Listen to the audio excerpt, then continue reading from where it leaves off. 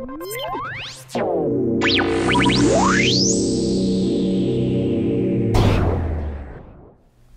there and welcome to another episode of the KAOS Information Exchange. My name is Bill. Today I'm going to do my best to answer the question that we get in the store almost every day and that is what equipment do I need to buy to set up a home recording studio with my computer? A digital recording studio. What, what should I buy? Difficult question for the average person because there is there are, I should say, dozens, if not hundreds of choices in products out there in the world, and it would be difficult to try to figure out which one uh, to buy. Which one, which, what are the good ones, what are the bad ones, what are the in-between ones, because uh, in uh, the world of uh, online advertising, everything looks amazing. So it's tricky to figure out. I'm going to do my best to uh, narrow it down and focus you in on two or three products that could, uh, that, that will work and that are excellent quality in a couple of different price ranges. So. First things first, you need a computer. So I'm going to assume that everybody has a computer. Um, this can be a Windows machine, uh, Windows XP, Service Pack uh, 3 usually, uh, Windows Vista or Windows 7, uh, or uh, an Apple machine, a Mac uh, with 10.5 or, or, up usually for the operating system. at this point anyway, and this is September 2011. So if you're watching this video in three years from now, those won't be the right operating systems. So anyway, with a, with the current operating system. You need uh, a decent computer with lots of RAM um, and lots of hard drive space. Uh, anything that's relatively new will most likely be fine.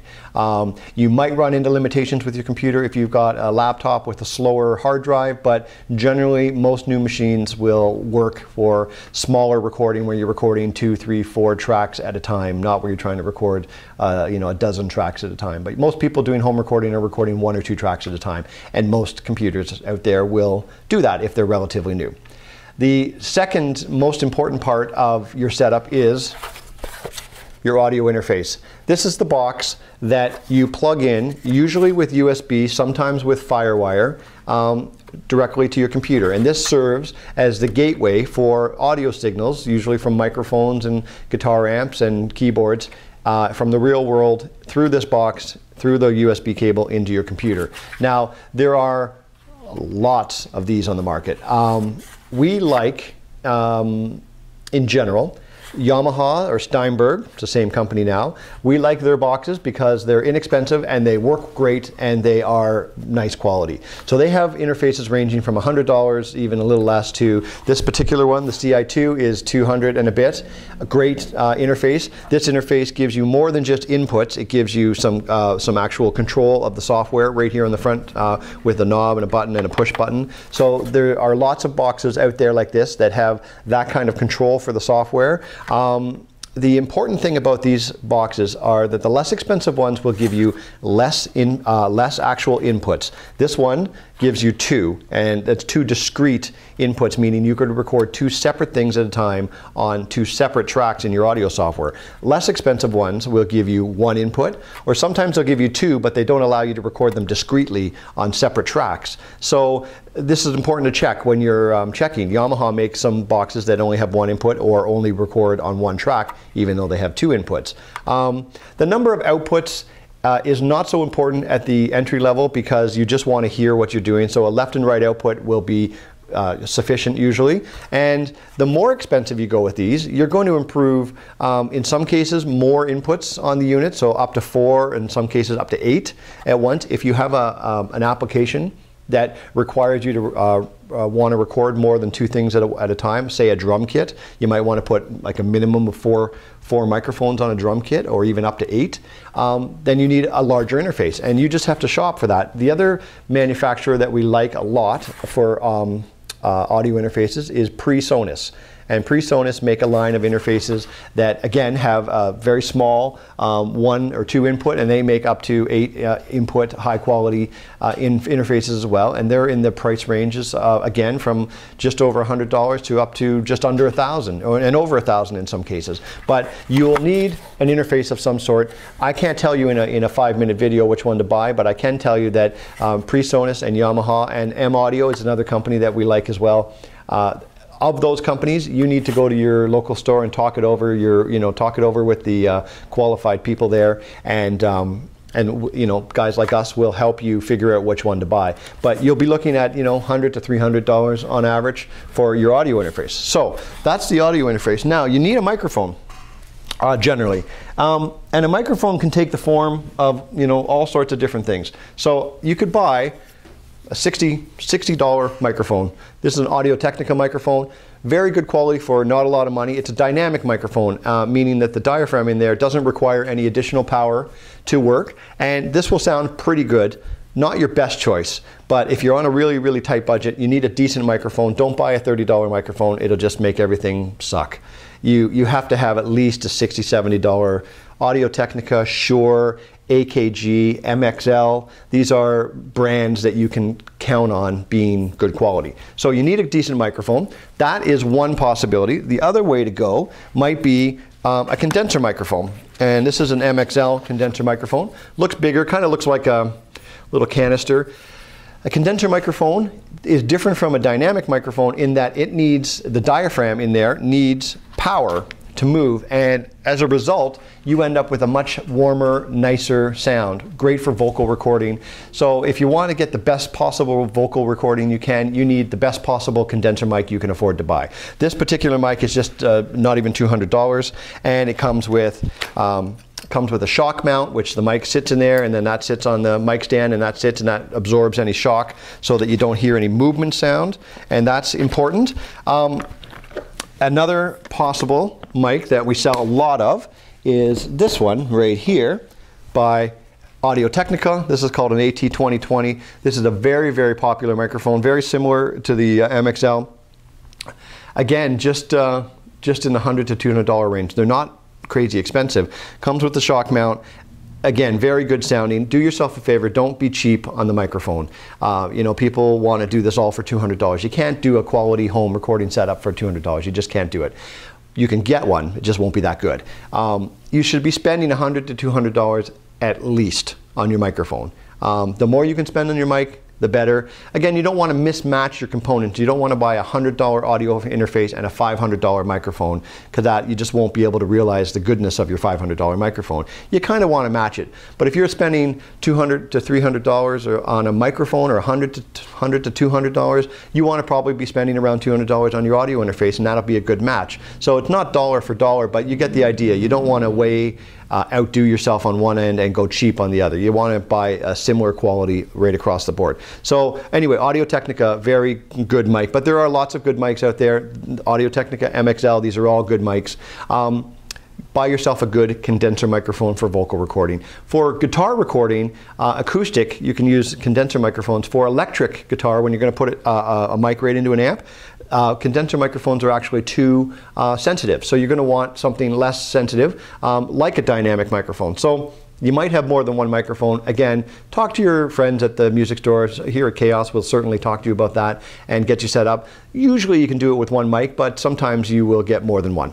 Now, the other thing you're going to need is a stand, mic stand. Here's a mini mic stand. This is a desktop stand, which we actually really like because we use this all the time to put in front of um, to put in front of guitar amps. So if we're recording, say, uh, an acoustic guitar and we have a, uh, an amp, uh, let's say we have our acoustic plugged into an amp, we can use this in front of the amp uh, at low volumes and it just sits on the floor and it sits right at amp level. Um, the other thing is if you're doing uh, voiceover things, like for uh, multimedia, this sits right on your desk and sits nice and still. You can't hold your mic, you have to have it in a mic stand, otherwise you're going to hear the movement noise, you'll hear noise like that um, on um, on, on, on your recording. So you have to have a good mic stand. This is also another here. This is a boom stand, which uh, you might think, well, no kidding, but a boom stand is um, pretty important to have because you need to often, if you're recording um, a guitar um, or a violin or any other instrument for that matter, you need to be able to move the mic around like this and get it in position, turn it, move the mic in like so. Anyway, um, a good boom stand, not expensive at all. You're only looking at, you know, $30, 40 dollars for a good uh, quality boom stand. Again, don't go cheap on the boom stand because um, all these uh, tightening, uh, whatever you call it, the, the, the, ratchets here that tighten up and, you know, that open up and allow you to adjust. Uh, if you buy a cheap one, they, they strip and then they wear out. So, you know, spend $30, 40 dollars. Uh, you're only going to save 10 dollars by buying the cheap one and after a few months, they won't tighten anymore. So that's, you know, that's no good for anybody. Um, the other thing you're going to definitely need is a set of headphones. Now, headphones, there are bajillion headphones on the market. Roland make them, AKG make them, Audio Technica make them. Oh God, uh, Sony. There, there are tons of headphones out there on the market.